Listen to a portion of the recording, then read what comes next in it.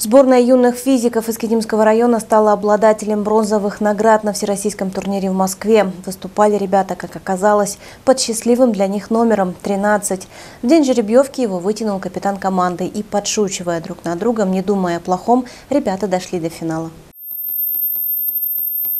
Если выставить частоту переменного тока резонансную с частотой стержня, то стержень войдет в резонанс. Его амплитуда колебания приведет к тому, что шарик будет подпрыгивать. Как объяснить, почему шарик прыгает на разную высоту, а система не затухает? Максим Фетисов нашел решение этой задачи и поделился им на турнире. Доклад прошел, ну, наверное, средняя. Дискуссия с оппонентом была ну, как ну, тоже средняя. Оппонент, к сожалению, ну, никаких важных вопросов на дискуссию не вынес. Больше, наверное, обсуждалась математика задачи, математическая модель. Экспериментальная часть задачи была, ну, наверное, не такой обширной.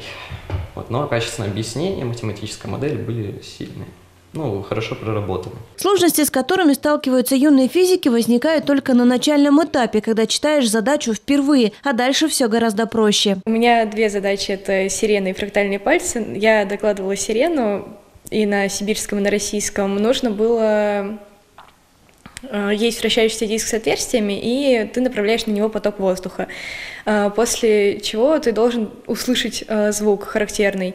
И вот нужно было разобраться с условием его возникновения, с Э, параметрами, которые будут влиять на характеристики этого звука. В сборной юных физиков района пятеро школьников, ребята из Тальменской и Лебедевской школ. Некоторые из них уже не первый год участвуют в турнире. Он состоит из пяти боев. В течение каждого команда выполняет одну из ролей – докладчик, оппонент или рецензент. Я исполнял один раз роль докладчика и получил э, ну, достойный балл, то есть э, жюри оценили ну, мою задачу на 5,38 средний балл, то есть из 10.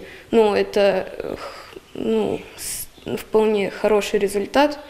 Э, я первый год участвую в турнире, то есть я сначала поучаствовал в сибирском турнире, мы там э, стали призерами третьей степени, и вот попал на всероссийский турнир. Ученики из Тальменской и Лебедевской школы, они были ну, представителями, представителями реально сельской школы, и, соответственно, получить такой вот результат в виде дипломов третьей степени и бронзовых медалей, это, конечно, очень круто. Представительство было очень серьезное.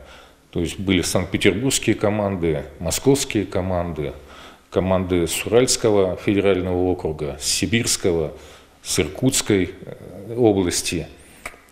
И поэтому конкуренция была очень э, такая жесткая. Ну и понятно, что очень э, радостно, что вот дети наших школ в состоянии составлять конкуренцию вот этим зубрам нашей страны. В будущем команда физиков из Китимского района нацелена на улучшение собственных результатов. Это повышает престиж не только школы твоего родного края, но и шанс для участников получить дополнительные баллы при поступлении в ВУЗ. Опять же, если ребята захотят связать свою жизнь с физикой.